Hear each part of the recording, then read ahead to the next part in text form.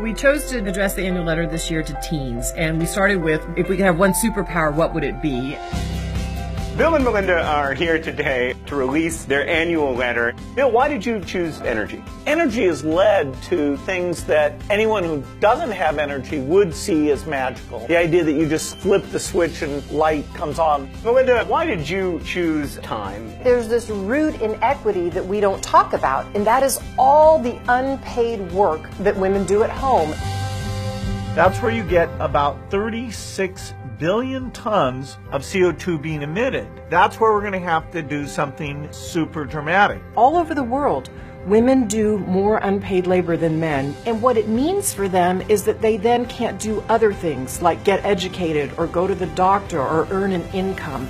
The result is pretty stunning. We spend more in a week on gasoline than we spend on the entire energy research budget. I was really impressed with the young people today to really internalize the idea that all human lives are of equal value. How do you take everybody's talent and meet the world's greatest need? If we do that as humanity, we will change the world. If you want to read our letter, please go to gatesletter.com.